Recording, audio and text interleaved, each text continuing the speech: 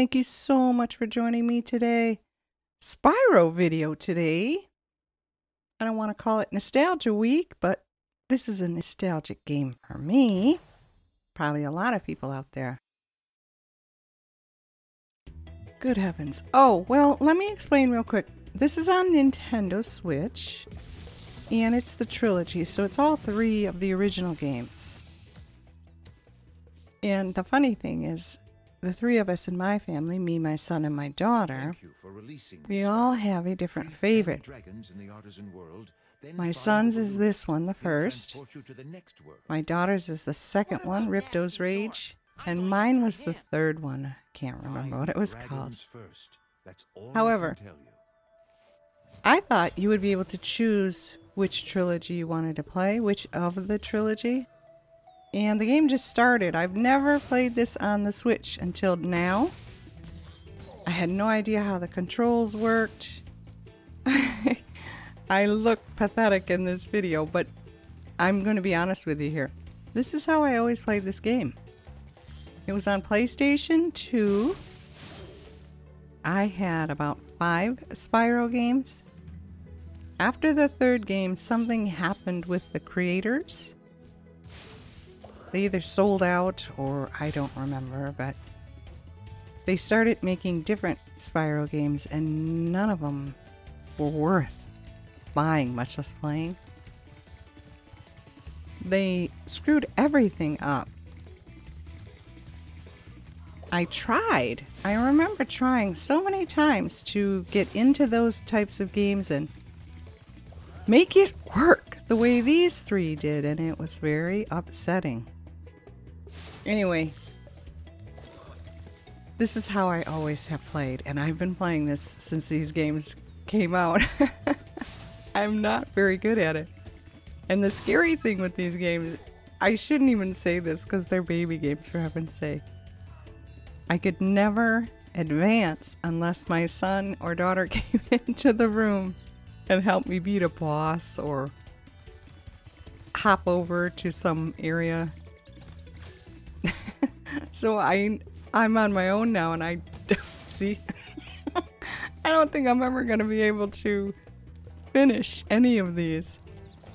Much less the first one here just to get to the second game and then finish the second game to get to the third. Why do I have to do that?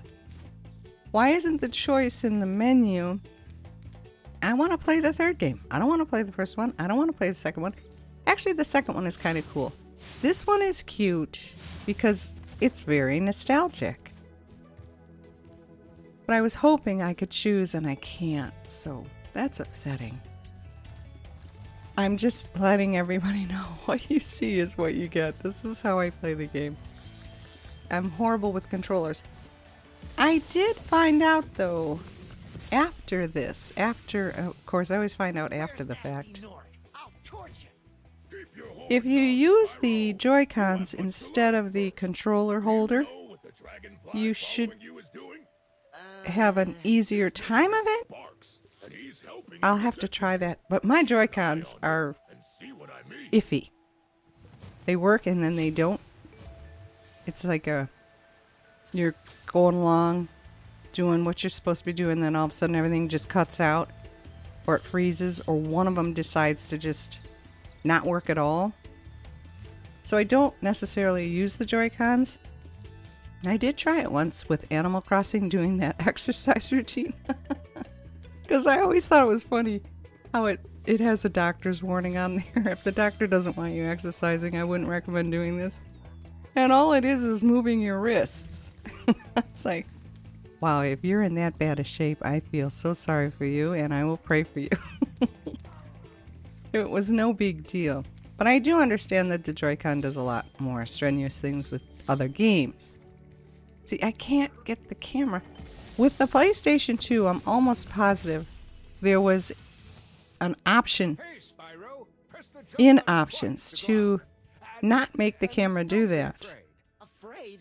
The camera's just going wherever it wants to go, and it takes a long time to get it back where you need it to be.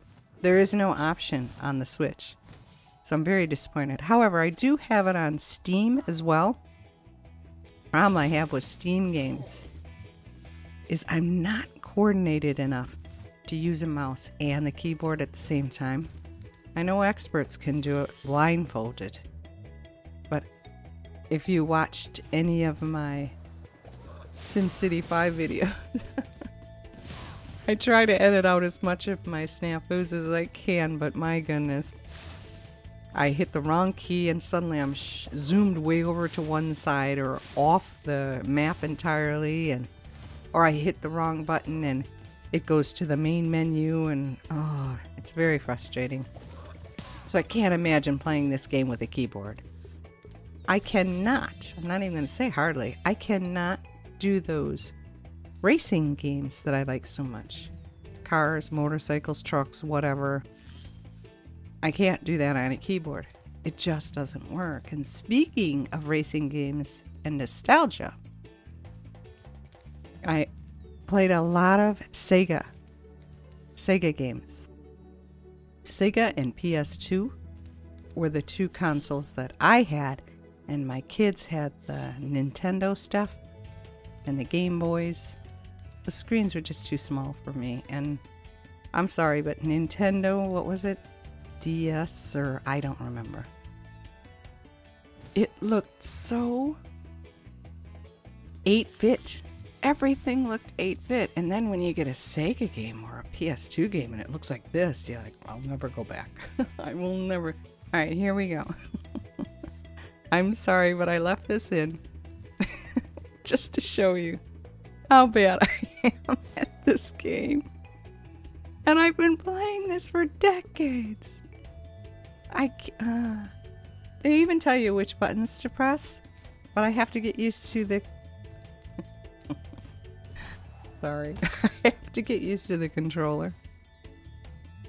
So I will stop to position his his view and then I'll go and I'll miss anyway. What button was it to glide? I don't Poor Spyro gets smashed into walls so many This is me just trying to get into the sparklies here. Ugh. But I do like the game. Yeah, see, I took a picture. just trying to get him into the sparkle. Oh my gosh, I am pathetic. it's funny. I'm sorry, it's funny to me. I hope it's funny to you guys. But I'm curious to know if you guys were into these platform games back in the day, because boy, did I like them.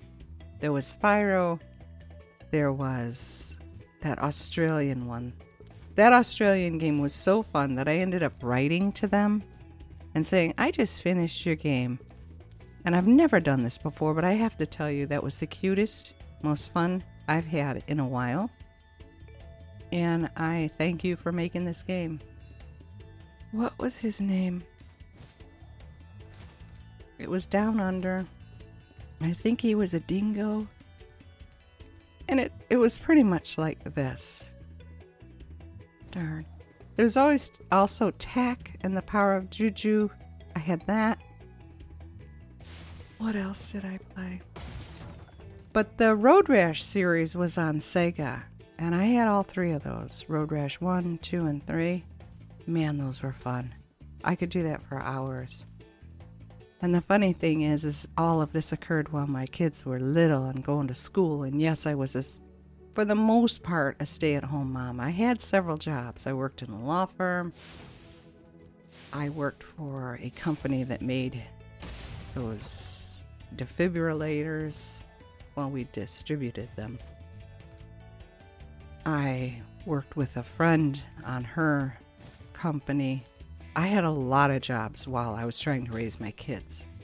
But for the most part, I was a stay at home mom. And when the house was clean and they had their lunches and they were all off to school, I would spend an hour or two playing these games and then I'd have to stop so that I could get ready for dinner and pick the kids up from school and all that other stuff. And then after they went to bed, I would hop back on and play for a little bit more. So when people say that people get addicted to this stuff, it used to scare me because I'm like, I don't, want to. There were actually stories back in the day about moms neglecting their kids because they were constantly playing video games.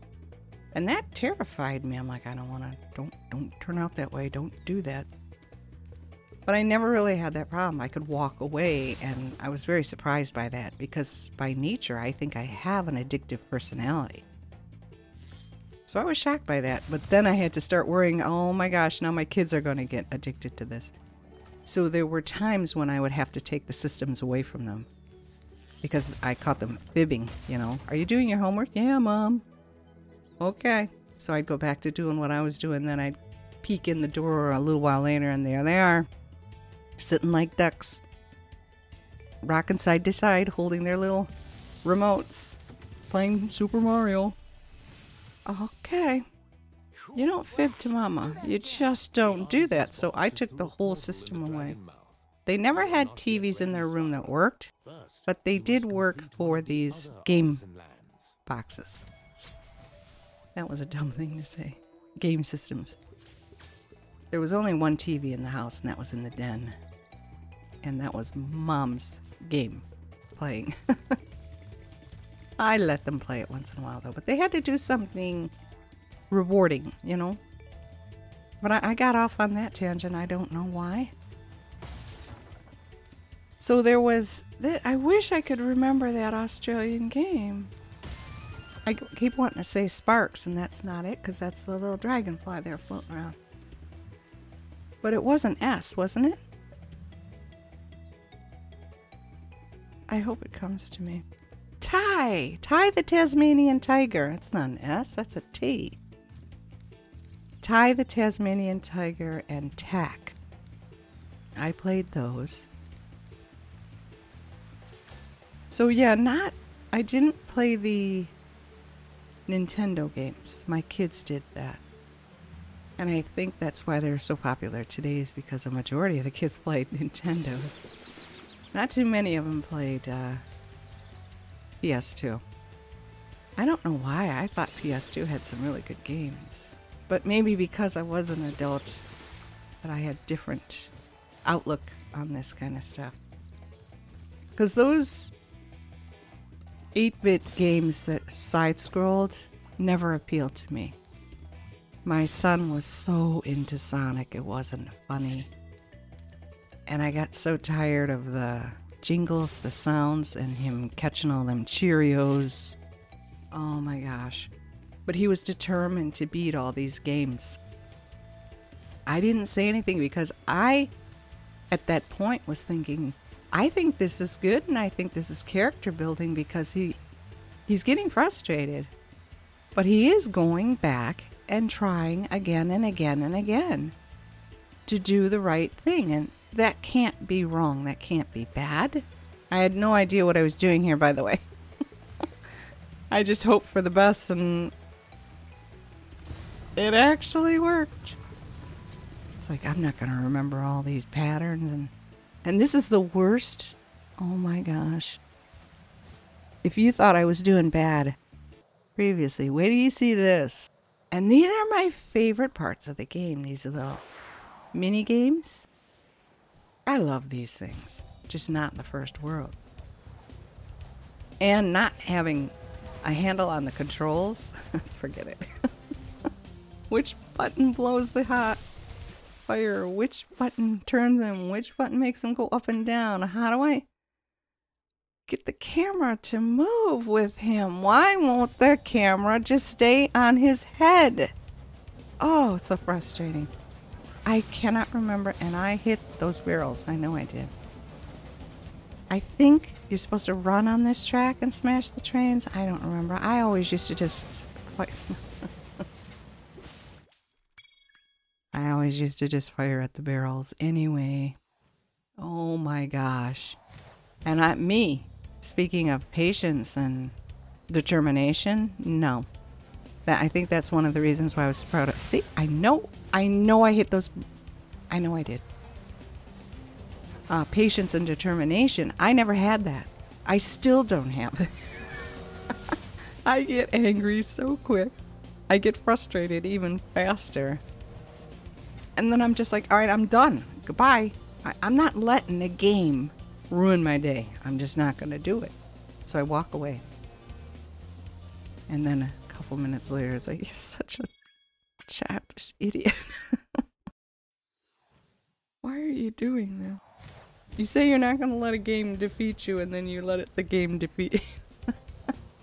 walk around all miserable for a half hour because of stupid game. but that was me. And it was embarrassing that I was that way. And to a certain extent, I am still like that. It's like, can't you just do it? Just do it. Why? Oh, why do you have to be so stupid? A three year old can come in here and do this, and you can't get past the first part. You can't remember buttons, you can't turn him, you can't get the camera to work. Oi. I mean, this is as far as I got in this one. But in the third game, I was getting really good at that. I have to tell you, the colors, the sparkles, the light, the worlds, they're all just so pretty. The art in these games just fascinates me. I do not know if they're using Sting's drummer in any of this music. It does sound familiar, but I don't think so. But the music was another, how would you say, a grabber? Why you like the game so I keep picking up my mouse and dropping it. It's a force of habit, and I apologize. I don't know why I do this. Anyway, I was stunned that Sting's drummer was involved with the music for this. I know I hit them barrels. I know.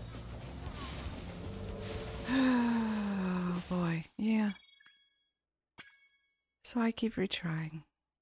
Because I'm ah, determined to make myself hear it.